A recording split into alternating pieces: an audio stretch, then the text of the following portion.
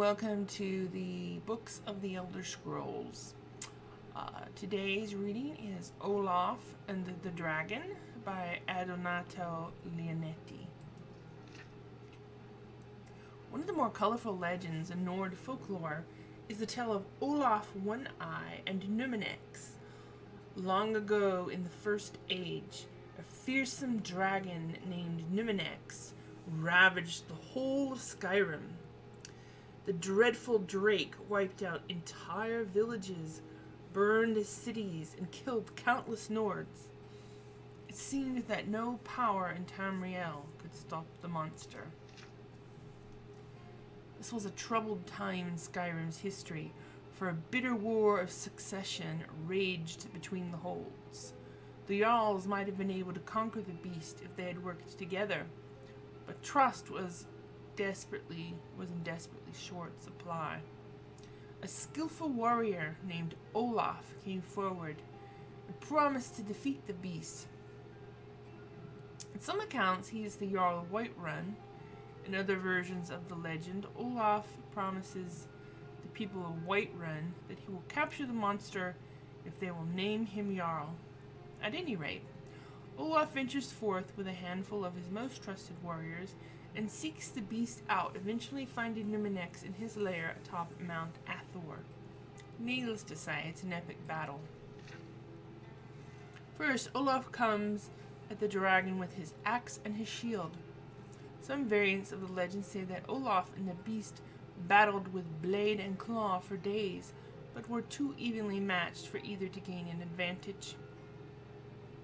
Most accounts hold that Olaf, perhaps frustrated that his weapons are completely ineffectual against the dragon, finally casts them aside. Giving voice to the rage that has been building within him, Olaf unleashes a terrible shout. Here again the stories diverge. Many accounts hold that Olaf did not realize he possessed the power of dragon speech, while others suggest that he had long possessed this gift, but wished to test himself against the dragon in martial combat first. Virtually all variations of the legend, however, agree on what happened next.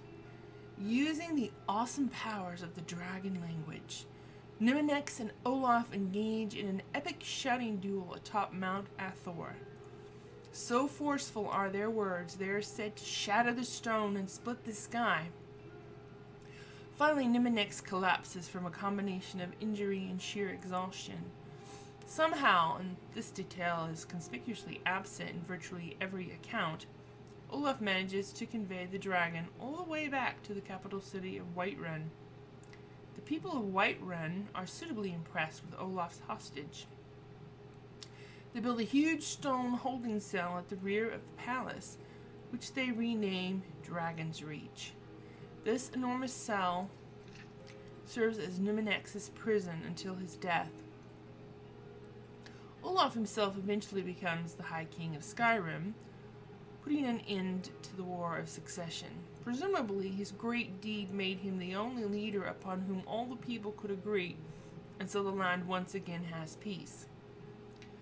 As a visitor to Skyrim, I find this tale both fascinating and highly entertaining. It is one of the most celebrated legends of the Nords, and one can easily understand why. It's a story of surpassing heroism in which a resourceful and worthy Nord does battle with a truly terrifying adversary and emerges victorious by yelling him into submission. The only way in which this could have been even more of a Nordic tale would be if Olaf beat Numinex in a drinking contest. The legend is not without its doubters, however. The bard Svaknir, who lived during Olaf's reign, wrote and performed an alliterative verse that challenged Olaf's version of events. Enraged, the High King threw the rebellious bard in prison and destroyed all written copies of the verse. How I would love to lay hands on a copy of that verse. I admit I'm immensely curious to know what assertions Svaknir made about how Olaf really defeated Numinex. There are a few ancient bard texts that provide one possible answer. These tomes suggest that Numinex was particularly foul-tempered because he was extremely old. In these accounts, the dragon spends his final years terrorizing the uh, countryside before flying off to the top of Mount Anthor to die in peace. When Olaf finds Numinex, the dragon is too weak to defend himself. Olaf and his men capture the beast without effort but decide to take advantage of the situation by fabricating a heroic tale.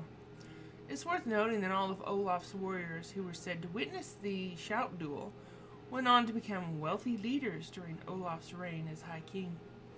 However, it's equally likely that Svaknir had some grudge against Olaf, and his scandalous verse was an attempt to damage the High King's reputation. Alas, we will never know.